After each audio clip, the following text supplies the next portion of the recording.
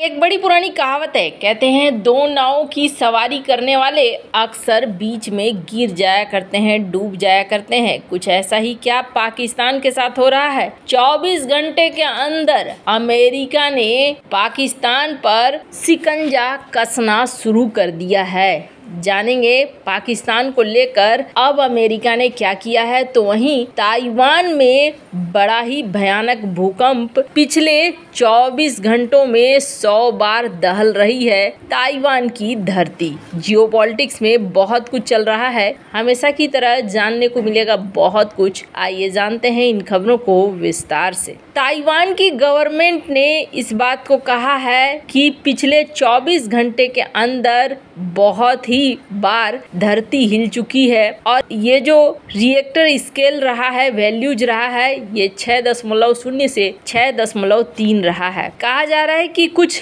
घायल हुए हैं लोग लेकिन कोई मारा नहीं गया है, पर ये जो लगातार हिल ही रहा है, इससे लोग सो नहीं पाए हैं। स्लीपलेस नाइट हो गई है। लोगों के लिए ये जो लगातार हो रहे हैं, पिछले ही हफ़्ता ताइवान में भूकंप आया था। इसके बाद एक बार फिर से ये भूकंप देखा जा रहा है। स्क्रीन पर कुछ तस्वीरें देख रहे हैं आप। ताइपे के द्वारा यानी कि ताइवान के द्वारा लगातार प्रेसिडेंट की तरफ़ से इस तरीके के अलर्ट मैसेज लोगों के पास पहुँच रहे हैं, जो कि जब जब भूकंप हो रहा है तब तब ये अलर्ट मैसेज पहुँचते हैं। हालाँकि इस मैसेज से एक चीज़ ज़रूर पता चलता है कि ताइवान ने अपने लिए एक बड़ी तैयारी करके रखी है। इस तरीके के डिजास्टर्स के समय या फिर किसी युद्ध के समय मैसेज आसानी से लोगों तक पहुँच सके। इसका भी इंतज़ाम ताइवान ने पहले से ही करके रखा हुआ है। खैर अब कितना नुकसान हुआ है, ये तो आने वाले समय में ही पता चलेगा।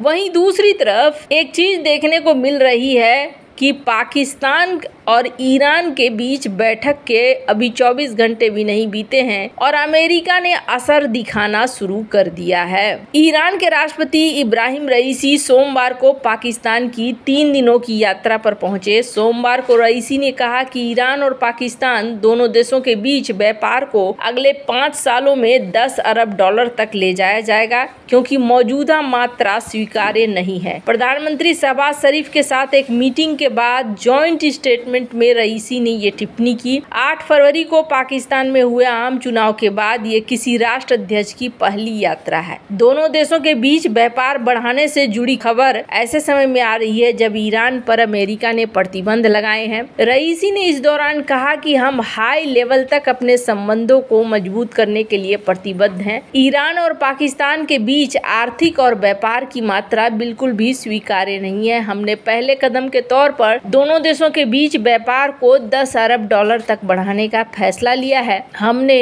अपने संबोधन में ईरानी राष्ट्रपति ने पाकिस्तानी लोगों की तारीफ़ की जो यरूशलेम की आज़ादी की मांग करते हैं। उन्होंने इसे लेकर कहा कि कुछ सामान्य आस्था और धर्म है जो आपस में जुड़े हुए हैं और कोई भी इन्हें अलग नहीं कर सकता है। ईरानी राष्ट्रपति ने कहा कि आपको कुछ ऐसे लोग मिल जाएँगे जो ईरान और पाकिस्तान के बीच अक्षय द्विपक्षीय संबंधों के विस्तार और प्रचार के पक्ष में नहीं है, लेकिन किसे परवाह है? ये ज़रूरी नहीं है, सीधे तौर पर वो अमेरिका पर निशाना साध रहे थे। दरअसल ईरान और पाकिस्तान के बीच लंबे समय से गैस पाइपलाइन का काम रुका हुआ है। पाकिस्तान जब भी इस काम को बढ़ाता है तो अमेरिका प्रतिबंधों की धमकी दे देता है। रईसी ने कहा कि ईरान के महान लोगों ने मेरे देश के खिलाफ लगाए गए अवैध और अनुचित प्रतिबंधों को एक अवसर में बदल दिया है। आज ईरान विकास और टेक्नोलॉजी का एक उदाहरण है। ईरान ने हाल ही में इसराइल पर एक बड़ा और मिसाइल और ड्रोन हमला किया और इस हमले के बाद ईरान पर अमेरिका ने प्रतिबंध लगाए हैं। बाइडेन ने गुरुवार को एक बयान में कहा कि प्रतिबंधों के ज़रिए इस्लामिक रिवोल्यूशनरी गार्ड कॉप्स और ईरान के रक्षा मंत्रालय और ईरानी सरकार के मिसाइल और ड्रोन प्रोग्राम से जुड़े नेताओं और संस्थाओं को निशाना बनाया गया है।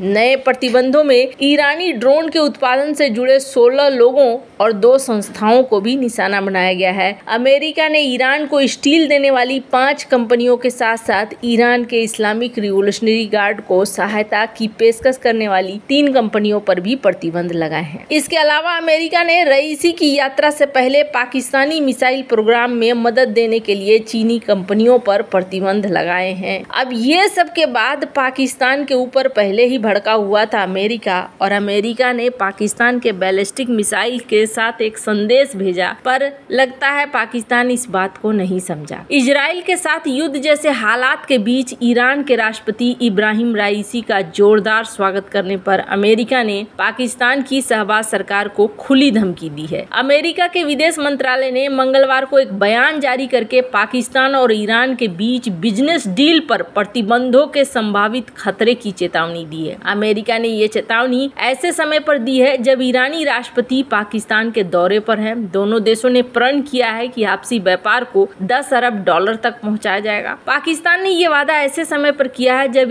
इसराइल पर हमले के बाद अमेरिका ने ईरान के खिलाफ कई नए प्रतिबंध लगाने का ऐलान किया है। अमेरिकी विदेश मंत्रालय के प्रवक्ता ने पाकिस्तान का नाम लिए बिना ही कहा कि हम ऐसे सभी देशों को सलाह दे रहे हैं जो ईरान के साथ बिज़नेस करने पर विचार कर रहे हैं। ऐसे देशों को प्रतिबंधों के संभावित खतरे के प्रति जागरूक रहना चाहिए। अमेरिकी प्रवक्ता ने पाकिस्तान के साथ व्यापार पर कहा कि अमेरिका पाकिस्तान के लिए सबसे बड़ा निर्यात बाज़ार है। यही नहीं, अमेरिका पाकिस्तान में निवेश करने वाले सबसे निवेशकों में भी शामिल है। अमेरिकी प्रवक्ता ने कहा कि हम पिछले 20 साल से पाकिस्तान में सबसे बड़े निवेशक हैं। पाकिस्तान की आर्थिक सफलता हमारे हित में है और हम अपनी भागीदारी को बनाए रखने के लिए आसान्वित हैं। इस तरह से उन्होंने पाकिस्तान और अमेरिका के बीच आर्थिक रिश्तों के महत्व पर ज़ोर दिया। पाकिस्तान और ईरान के बीच बढ़ती नजदीकियों पर अमेरिकी प्रवक्ता ने बिना पाकिस्तान का नाम लिए ही प्रतिबंधों की धमकी दे दी। उन्होंने कहा कि दुनिया में ईरान की स्थिति को देखते हुए प्रतिबंधों का खतरा रहेगा। अमेरिकी विदेश मंत्रालय के प्रवक्ता ने ये धमकी ऐसे समय में दी है, जब पाकिस्तान के इतिहास में ईरान के साथ रिश्ते सबसे महत्वपूर्ण चरण पर पहुँच गए हैं। दोनों ही देश अपने रिश्ते को भाईचारे वाला बनाना चाहते हैं। वो भी तब, जब कुछ समय पहले ही दोनों देशों ने एक दूसरे के इलाके पर मिसाइलें दागी थी। पाकिस्तान अब ईरान के साथ गैस पाइपलाइन पर काम करना चाहता है, लेकिन अमेरिका इसके लिए मंजूरी नहीं दे रहा इससे आने वाले समय में पाकिस्तान पर अमेरिकी प्रतिबंध लग सकते हैं। हैं। इससे पहले ईरान के राष्ट्रपति इब्राहिम रईसी सोमवार को पाकिस्तान की तीन दिन की यात्रा पर इस्लामाबाद पहुँचे थे।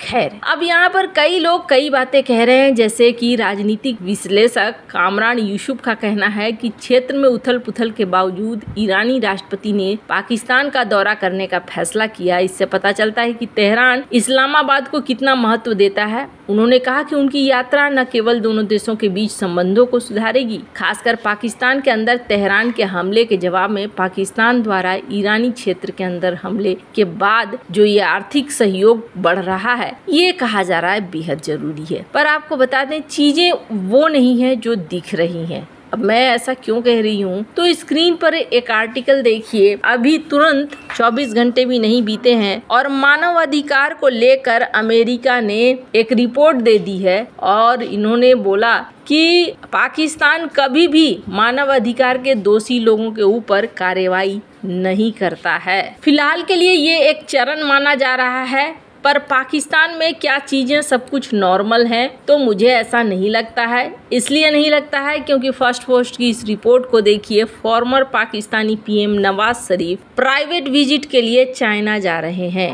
वैसे कहा जाता है कि ये प्राइवेट विज़िट पीएम अपने चिकित्सा के लिए करवाने के लिए जा रहे हैं, पर गजब की बात है, अमेरिका छोड़कर, लंदन छोड़कर, चाइना हेल्थ इशू हल कराने के लिए जा रहे हैं। ये थोड़ी अजीब बात लग रही है। वैसे आपको क्या लग रहा है? इन सब मामले में आपकी क्या राय है? कमेंट कर ज़रूर बताएँ। जल्द मिलते हैं अगले वीडियो में नई खबर के साथ।